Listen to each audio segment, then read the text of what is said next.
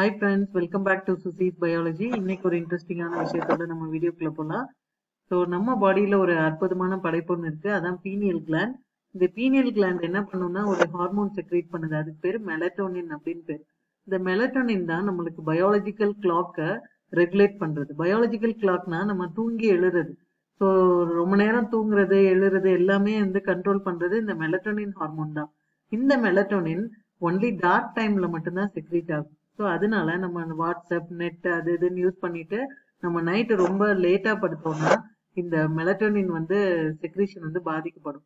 So அதனாலதான் நம்ம சீக்கிரம் தூங்குனா அது நல்லது. இந்த மெலட்டோனின்ல இன்னொரு சிறப்பான விஷயம் என்னன்னா கேன்சரை சரி பண்ணக்கூடிய அந்த அரிய மருந்து இந்த மெலட்டோனினுக்கு இருக்கு அந்த அரிய குணம் இருக்கு.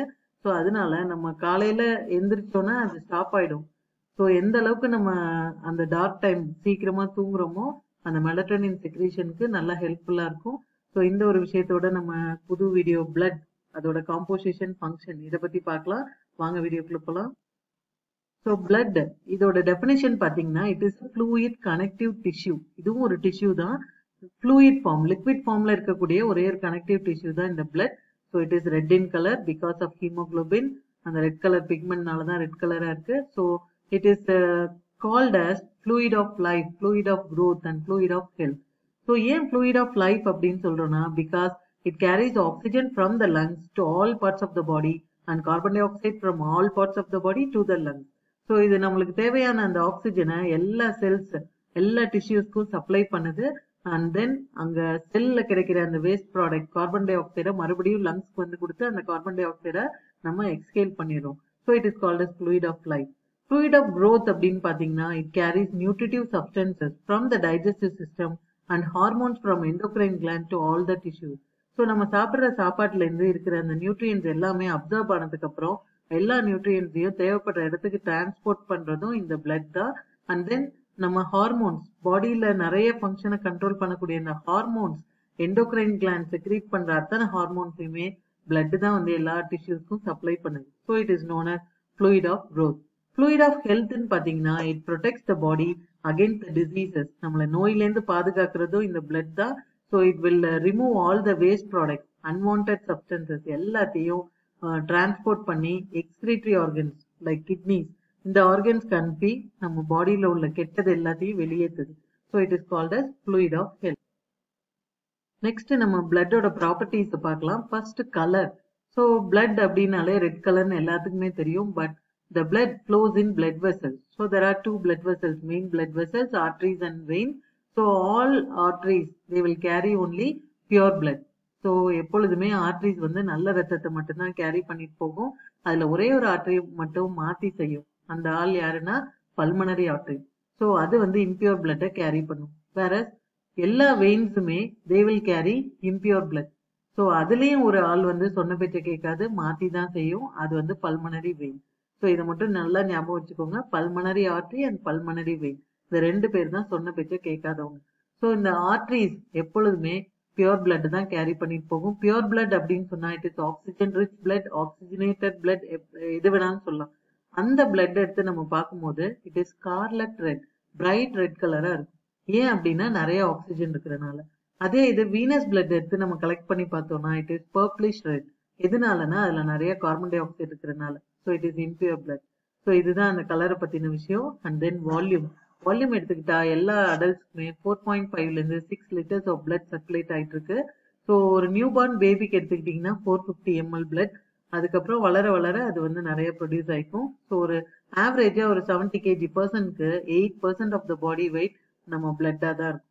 And then reaction and pH அப்படின்னு பாத்தீங்கன்னா பிளட் வந்து அசிடிக்கா ஆல்கலைனா அப்படின்னு பார்த்தா இட் இஸ் ஸ்லைட்லி ஆல்கலைன் ஏன் அப்படின்னு பார்த்தா அதோட பிஹெச் வந்து செவன் பாயிண்ட் ஃபோர் செவன்னா நியூட்ரல்னு தெரியும் பிலோ செவன் அசிடிக்னு தெரியும் அபோவ் செவன் ஆல்கலின்னு தெரியும். ஆனா ஸ்லைட்லி ஆல்கலைன் இது. செவன் பாயிண்ட் த்ரீ ஃபைவ்ல இருந்து செவன் பாயிண்ட் ஃபோர் ஃபைவ் முடியும் தான். ஸோ அதனால அதை ஸ்லைட்லி ஆல்கலைன் அப்படின்னு சொல்லுவோம். இந்த செவன் பாயிண்ட் ஃபோர்லயே நம்மளுக்கு மெயின்டைன் பண்றதுக்கு தான் we are having bicarbonate buffer system so அது வந்து மெயின்டைன் பண்ணிக்கும்.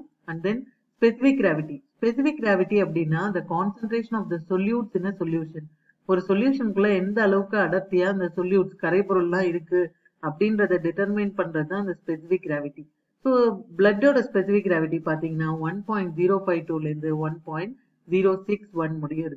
அண்ட் தென் விஸ்காசிட்டி விஸ்காசிட்டின்னு பார்த்தீங்கன்னா திக்னஸ்ன்னு சொல்லலாம்.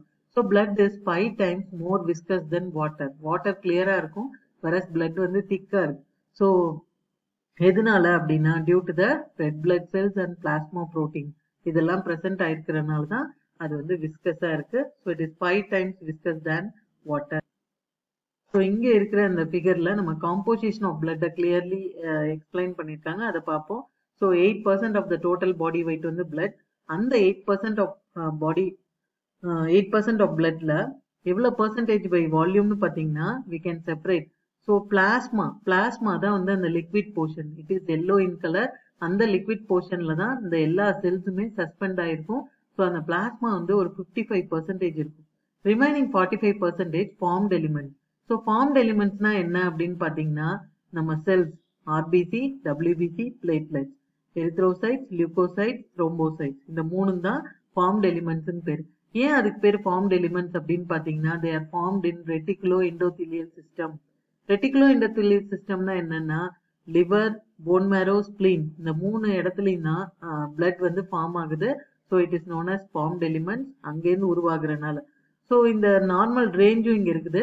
ஆர்பிசி வந்து ஃபோர் பாயிண்ட் ஃபைவ்லேருந்து six million cells per cubic millimetre இந்த அளவுக்கு இருந்தால் நார்மல் ரேஞ்ச் அதே மாதிரி டபிள்யூபிசி எடுத்துக்கிட்டிங்கன்னா ஃபைவ் தௌசண்ட்லேருந்து டென் தௌசண்ட் செல்ஸ் முடியும் இருக்கணும். பிளேட்லெட்ஸ் வந்து ஒரு டூ டு ஃபோர் லேக்ஸ் இருக்கலாம். ஸோ இது வந்து இதோட நார்மல் ரேஞ்ச் ஸோ இதுக்கு இந்த பஃபி கோட் அப்படின்னா வேற ஒன்றும் இல்லை. ஒரு பிளட்டை நம்ம ஒரு டெஸ்ட் டியூப்ல கலெக்ட் பண்ணி கொஞ்ச நேரம் கழிச்சு வச்சுட்டோ இல்லைன்னா சென்ட்ரிபியூஜ் பண்ணி பார்த்தாலோ செல்ஸ் எல்லாம் வந்து கீழே செட்டில் ஆயிடும். இதுல அதிகமா இருக்கிறது ரெட் கலர் போர்ஷன் ஆர்பிஜினால தான் அண்ட் தென் அதுக்கு மேல ஒயிட் பிளட் செல்ஸ் செட்டில் ஆகும். ஸோ அது வந்து பஃபி கோட் அப்படின்னு பேர். ஸோ பஃபி கோட் இந்த டபிள்யூபிசி தான் வந்து அந்த பஃபி கோட் அதுக்கு மேல ஒரு லைட் பிங்கிஷ் லேயர்ல பிளேட்லெட்ஸ் பார்க்கலாம். இதுக்கு மேல கிடைக்கிற எல்லோ கலர் போர்ஷன் பேர் தான் பிளாஸ்மா இந்த பிளாஸ்மால பாத்தீங்கன்னா it consist of seven percent proteins ninety one percent water and other solutes two percent so இந்த செவன் பர்சன்ட் ப்ரோட்டீன்ஸ்ல எந்த ப்ரோட்டீன்ஸ் அதிகமா இருக்கும்னு பாத்தீங்கன்னா ஆல்புமின்ஸ் அதுதான் அதிகமா இருக்கும். ஸோ ஃபிஃப்டி எயிட் பர்சன்டேஜ் வந்து ஆல்புமினா தான் இருக்கும். And thirty eight percentage globulins and remaining fibrinogen ஒரு ஃபோர் பர்சன்ட் வந்து ஃபைப்ரினோஜன் இருக்கலாம். ஸோ இந்த ஆல்புமின் தான் எப்பொழுதும் நம்மளுக்கு அதிகமாக இருக்கணும். இந்த கண்டிஷன் ரிவர்ஸ் ஆச்சுன்னா ஃபார் எக்ஸாம்பிள் லிவர் டிசீஸ் பேஷண்ட்க்கு இருந்ததுன்னா இந்த ஆல்புமின் வந்து கம்மியாக போயிடும். குளோபலின்ஸோட லெவல் வந்து அதிகமாயிடும். அதை தான் நம்ம ஏ பை ஜி ரேஷியோ அப்படின்னு சொல்லுவோம். இதை தவிர வாட்டர் நைன்டி ஒன் பர்சன்டேஜ் இருக்கு. அதர் சொல்யூட்ஸ் இன்னும் நிறைய ஒரு டூ பர்சன்டேஜ் அதர் சொல்யூட்ஸும் டிசால்வ் ஆயிருக்கு. இந்த பிளாஸ்மால அதெல்லாம் என்னென்னு பார்த்தீங்கன்னா அயோன்ஸ் சோடியம் பொட்டாசியம் குளோரைட் இந்த மாதிரி பாஸ்பேட் குளோரைடு இதெல்லாம்.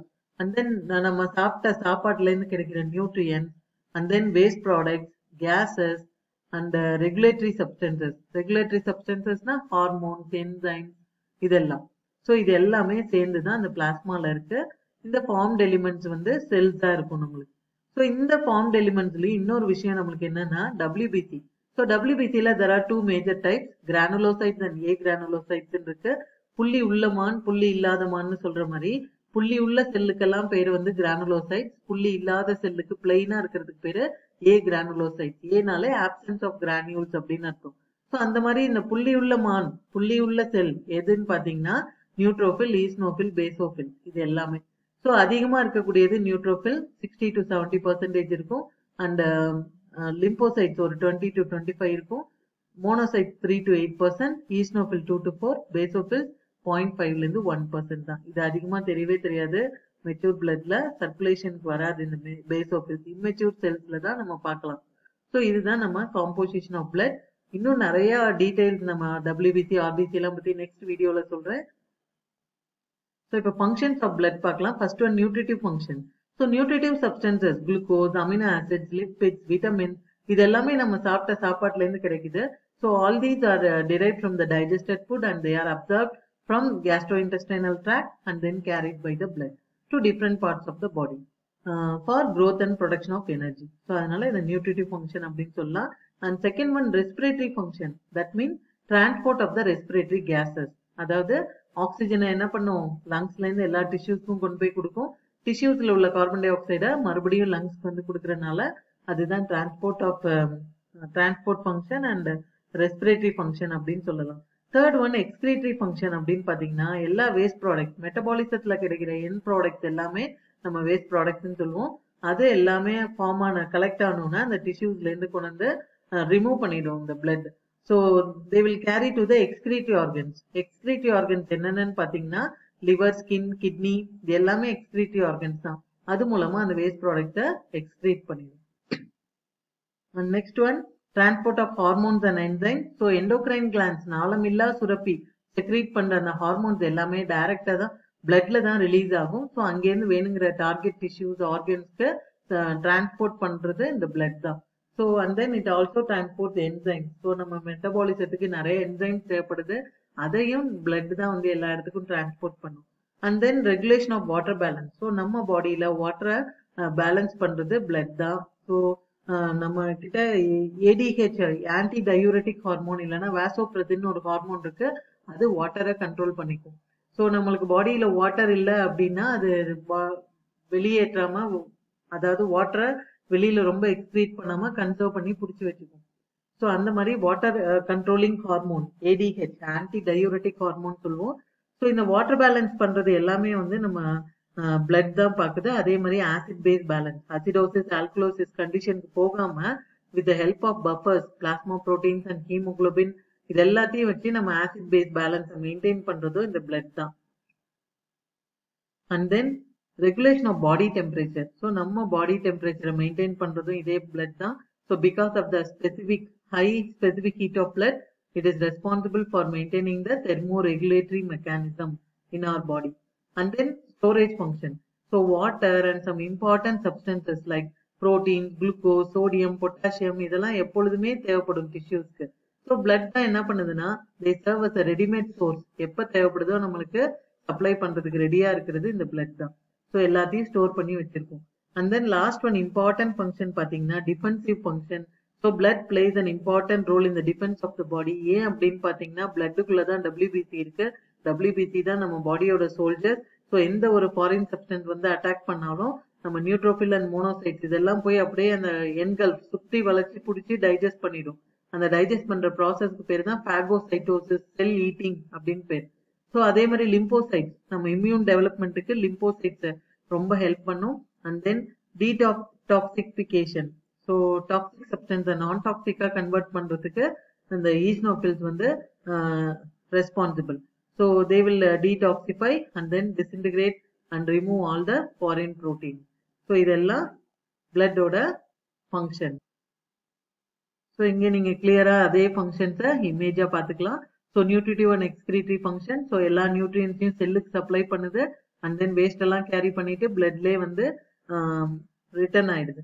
அண்ட் தென் ரெஸ்பிரேட்டரி ஃபங்க்ஷன் பார்த்தீங்கன்னா கார்பன் டை ஆக்சைடு லங்ஸுக்கு கொண்டு வரும். டிஷ்யூஸ்ல இருந்து கார்பன் டை ஆக்சைடு லங்ஸ்க்கு வரும். லங்ஸ்ல இருந்து நம்ம எக்ஸ்கேல் பண்ணிடுவோம். ஸோ அதுக்கு கார்போனிக் அன்ஹைட்ரேட் என்சைம் ரொம்ப இம்பார்ட்டன்ட் ரோல் பிளே பண்ணும். ஸோ இது respiratory function and then hormones enzymes எல்லாம் டிரான்ஸ்போர்ட் ஆகுறது இங்க கொடுத்துருக்குறாங்க. And then regulation of water and acid base balance பார்க்கலாம் இங்க நீங்க. So and then regulation of body temperature so இந்த மாதிரி எல்லா ஃபங்க்ஷன்ஸும் நம்ம பிளட் தான் பண்ணுது. ஸோ இன்னும் நம்ம நிறைய அந்த பிளட்டோட செல்ஸை இண்டிவிஜுவலா ஒவ்வொன்றத்தோட நார்மல் ரேஞ்ச் அதோட இன்க்ரீசிங் கண்டிஷன் டிக்ரீசிங் கண்டிஷன் இன்னும் எல்லா டீட்டெயில்ஸையும் இண்டிவிஜுவலா பார்க்கலாம். ஸோ நெக்ஸ்ட் வீடியோவை ஸ்கிப் மறக்காம பாருங்க வெயிட் பண்ணுங்க. So I put soon and thanks for வாட்சிங் ஸோ ப்ரொஃபஷனல் இங்கிலீஷ் அந்த வீடியோஸ்க்கு எவ்வளோ சப்போர்ட் பண்ணீங்களோ அதே மாதிரி பயோகெமிஸ்ட்ரி வீடியோஸ்க்கும் சப்போர்ட் பண்ணுவீங்கன்னு நம்புறேன்.